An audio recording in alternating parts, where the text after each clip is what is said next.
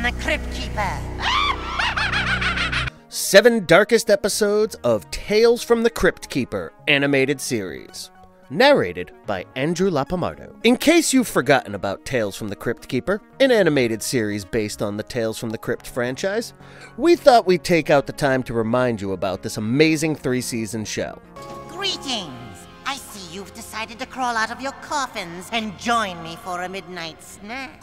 The series is often discarded as just another extreme cartoon of the 90s, but that's a criminally wrong interpretation because it was written almost perfectly and suited the taste of both young and older children. It certainly gave goosebumps to any kiddos who woke up early enough on Saturday mornings to get haunted. Sorry for all the noise, but there's nothing like a scream bath to smooth out the wrinkles.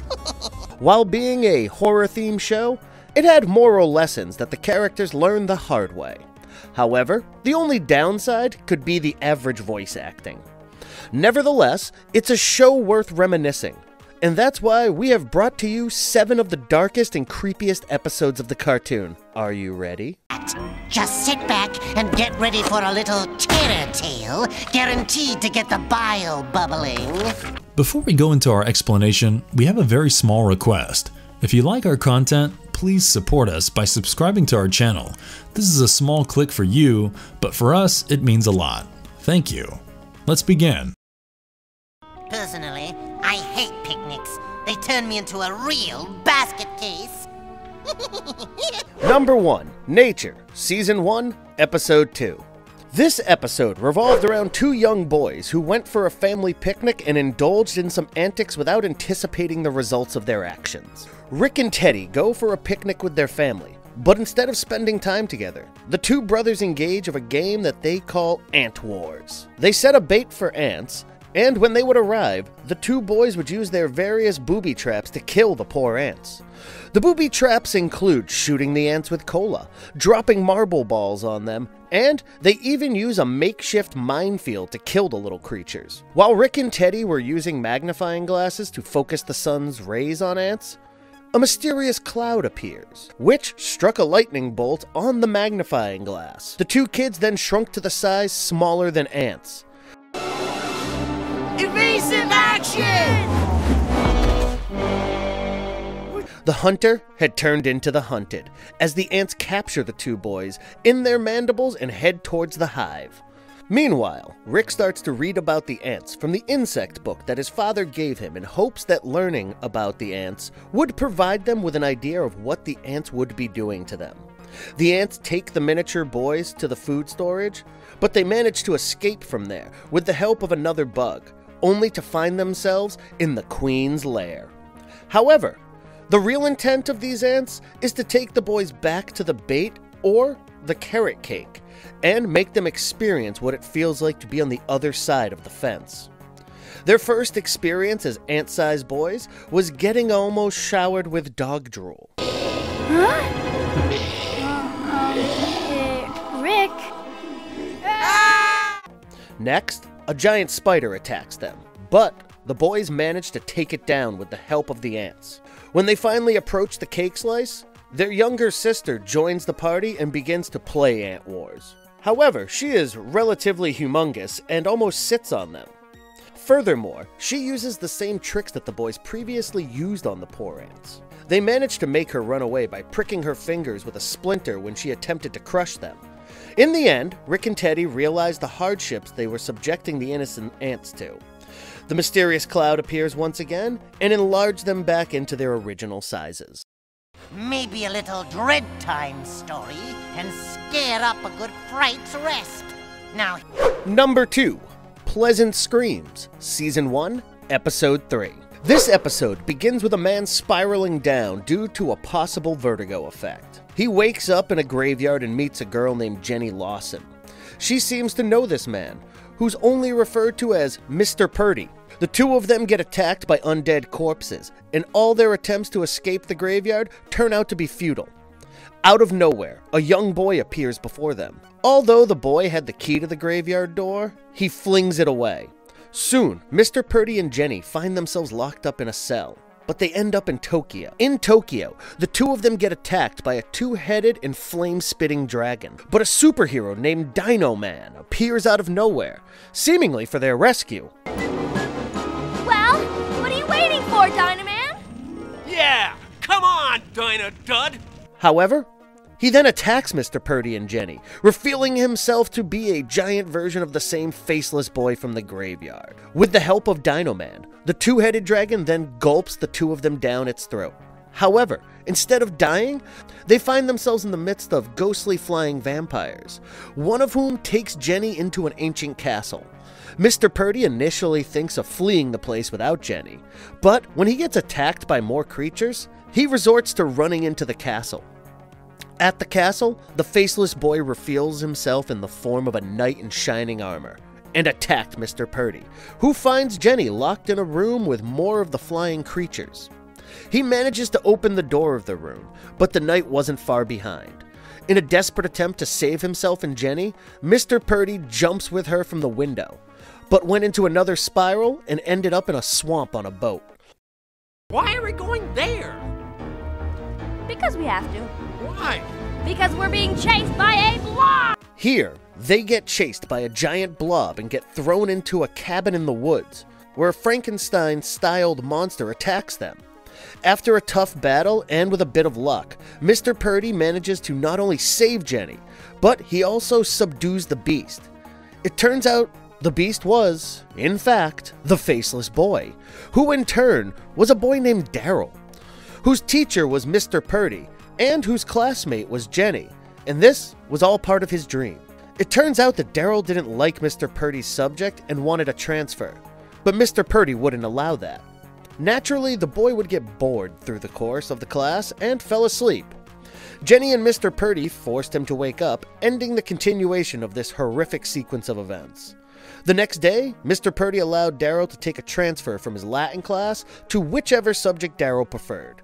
The story was based on pleasant screams from the Tales from the Crypt issue number 37. While I scrub my sea legs, let me spin you a terror tale you're sure to treasure. Number 3, Ghost Ship, Season 1, Episode 13. Two friends, Ben and Mike, take Ben's father's yacht for a spin into the sea, despite the fact that Ben has no prior experience of driving a vessel, or, well, any vehicle for that matter. As was expected, they hit a huge rock that damages the underside of the yacht. Soon, the yacht starts brimming with water, and by nightfall, it almost drowns, except their surfing boats. However, to their utter relief, they see another ship approaching them. Upon getting aboard the ship, they realize it belongs to ancient pirates. As Ben starts to display his skills with a pirate sword, pirate skeletons come to life and begin to hunt the boys across the length and breadths of the ship.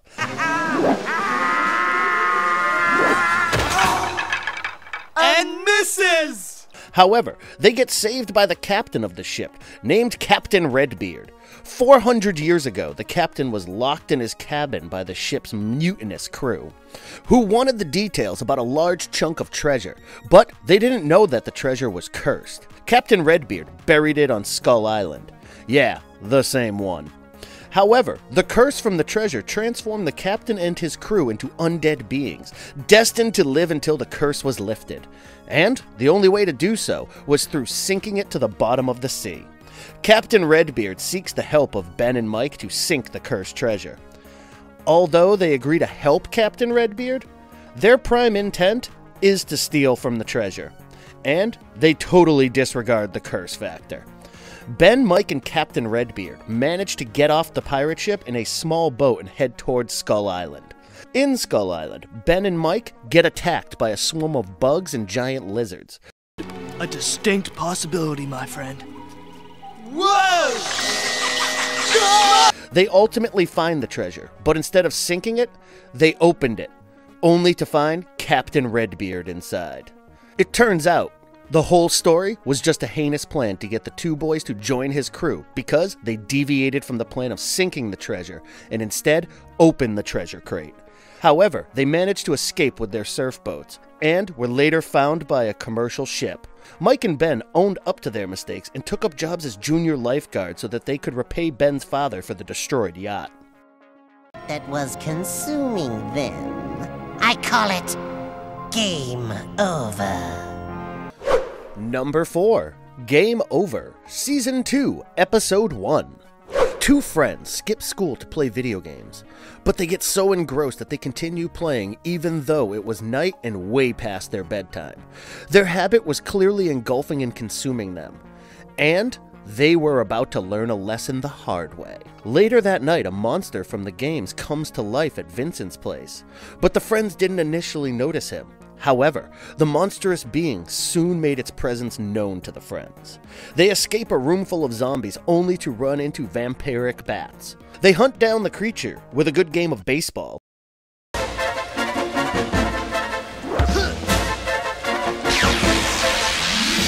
Weird.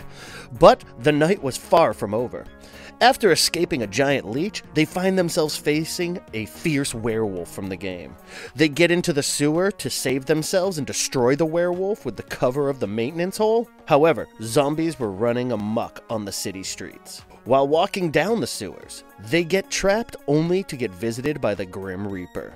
In a not so happy ending, the Grim Reaper sends the boys into the video game to a grumpy old deadbeat. I call it Uncle Harry's Horrible House of Horrors.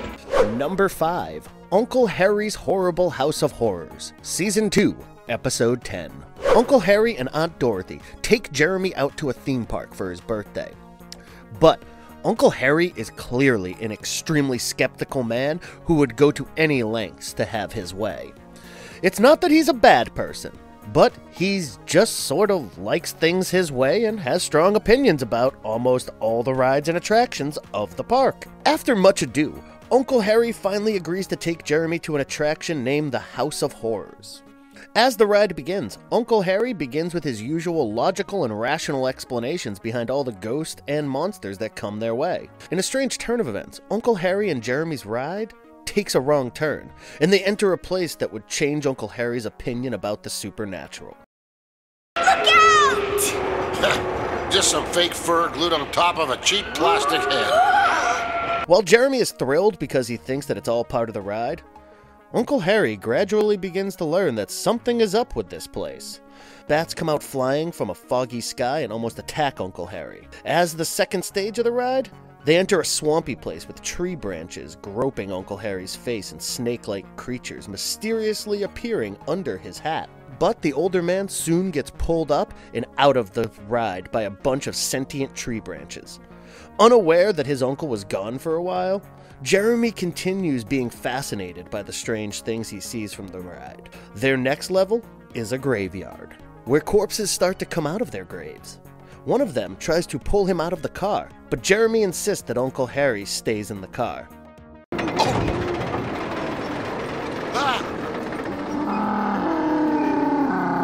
Finally, they manage to go beyond a swinging pendulum with razor sharp edges, and out they were. Uncle Harry acquires the ability to enjoy life through the depths of his imagination. When he comes out with Jeremy, the six year old convinces his uncle that none of what he saw was real, and Harry realized that he did, in fact, have fun.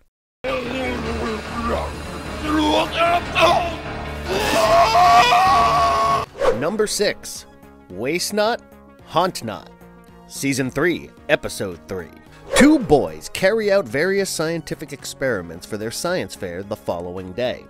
But things go horribly wrong. The mosquito repellent ends up attracting bugs, and the bicycle tire patch ended up melting the wheels. Their latest attempt was making a solution that erased ink, but that just dissolved the clothes on one of the boys. The boys, Stephen and Richard, disregard the local safety requirements for the disposal of toxic waste and dump the ooze in a bog. The science kids should have known better than polluting the environment. And now, they'll have to face the consequences of their actions in the form of a vicious bog monster that gets created due to a biochemical reaction. My hat! Oh! How fortuitous! The bog monster follows Richard and Stephen to their house and breaks into it. The two boys messed with Mother Nature, and naturally, the unnatural abomination was now onto them to extract its greasy vengeance. Instead of thinking about ways to destroy it, the boys decide to present it at their science fair. Well, because they created it.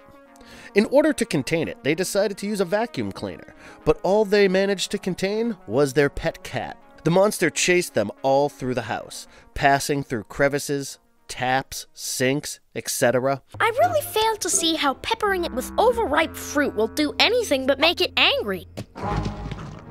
And ultimately, it caught up to the kids and pulled them inside its interiors to show them the toxic waste was still in the barrel. And hence, they didn't create it. The bog monster lived in the bog, and it had hated the fact that the kids polluted its home. Stephen and Richard pulled the barrel out of the monster and decided to dispose of it the proper way. Well, a few lessons have certainly been learned.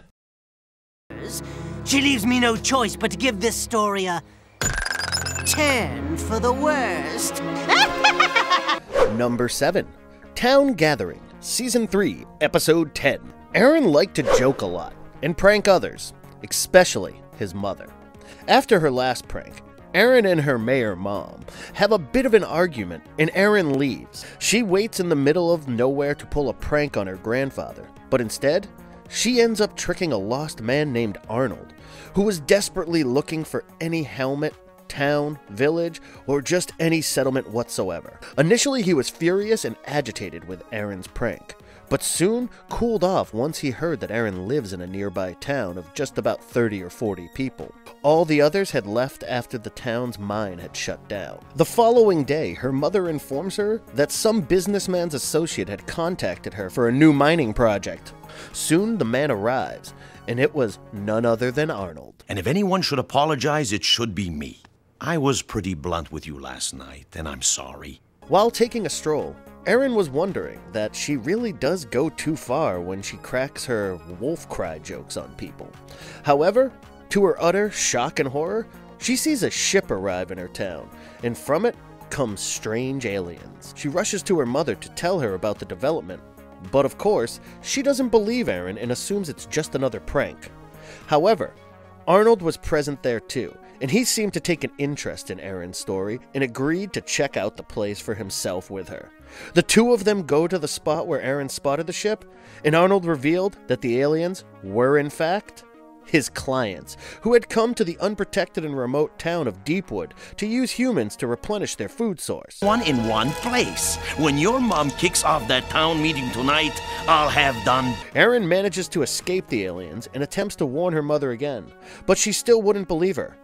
But Fortunately for Erin, her grandfather not only came for her help, but also believed in her story. However, Arnold messed up the deal with the aliens, who called the deal off and aborted their plan. Erin had finally learned her lesson the hard way, though. And if you liked our content, don't forget to leave a like and subscribe to us if you haven't already. Have a good one and be safe.